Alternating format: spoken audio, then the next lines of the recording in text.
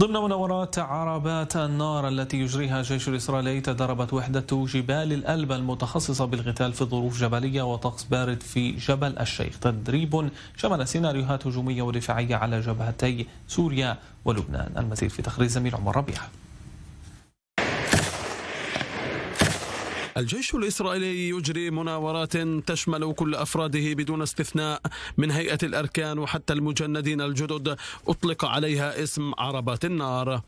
أما المدة فشهر كامل وصف بشهر حرب. شهر يهدف إلى زيادة جاهزية الجيش وفحص مدى ملائمة القوات لمعركة طاحنة وطويلة الأمد ومتعددة الجبهات. كما تحاكي المناورات سيناريوهات قتالية بمشاركة قوات نظامية واحتياط من كافة القيادات الأذرع الهيئات الوحدات والجبهات. إحدى الجبهات بل أهمها هي الحدود الإسرائيلية الشمالية مع لبنان وسوريا. في جبل الشيخ حيث تتدرب وحدة جبال الألب المكلفة بتأمين الجبل والمتخصصة بالقتال في المنطقة. المعقدة من حيث التضاريس الجبلية والطقس البارد. قوام وحدة جبال الألب مئات من جنود الاحتياط معظمهم أدوا الخدمة النظامية في وحدات خاصة كجولاني وإيغوز ويتميزون بأنهم عايشوا المنطقة ويعرفون تفاصيلها بدقة أما عملهم فبعضه علني والآخر سري ويتراوح بين نشاط هجومي كتنفيذ كمائن في العمق وشن عمليات إلى آخر دفاعي لإحباط الهجمات والحفاظ على الهدوء. تدربنا على سيناريوهات مختلفة ومطولة لاحتلال جبل الشيخ في الليل والنهار مصحوبة بنيران الهاون والقناصة وطائرات هليكوبتر قتالية. نحن مستعدون لتقديم رد حازم في الحرب. كما تتميز الوحدة بأن قطاعها يشمل بلدين عدوين لإسرائيل سوريا ولبنان.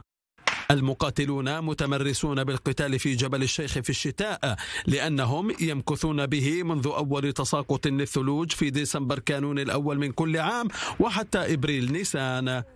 لكن مصادر في الجيش الإسرائيلي تقول إن هناك حاجة لكي يتمرس المقاتلون أيضا في الحرب في الجبل في أيام الصيف الحارة أيضا. وبالتالي فإن قيادة الوحدة استغلت شهر حرب في مناورة عربات النار لتدريب المقاتلين في الحرب في الجبل بأيام الصيف كهذه الفترة. جبل الشيخ ذخر استراتيجي. يدرك الجيش الإسرائيلي أن من يسيطر عليه إنما يسيطر على هضبة الجولان خاصرة الجليل. ومن هنا تنبع أهمية هذه التدريبات. عمر ربيع اي 24 نيوز جبل الشيخ. شمال إسرائيل. أعلن الانفصاليون الموالون لروسيا في الشرق الأوكراني استيلاءهم على بلدة ليمان الاستراتيجية في دونباس في وقت اشتدت فيه المعارك في شرق البلاد ولم يعلق الجيش الروسي والجيش الأوكراني على ادعاءات الانفصاليين حتى اللحظة وتعد ليمان تقاطعا مهما للسكك الحديدية. تقع شمال شرق مدينة سلوفيانسك التي استعادتها كييف من الانفصاليين عام 2014 أصدر معهد نيو لاينز الأمريكي تقريرا يؤكد أن روسيا تتعمد ارتكاب جرائم حرب في أوكرانيا بهدف كسر معنويات الشعب والحصول على أفضلية في الحرب. ووقع على تقرير وهو الأول من نوعه منذ بدء الحرب أكثر من 30 خبيرا وأكاديميا من مجال أبحاث الإبادات الجماعية. وخلال أكثر من ثلاثة أشهر من الحرب وثقت أحداث عديدة لإعدام مدنيين أوكرانيين وقبور جماعية واستهداف محطات قطار.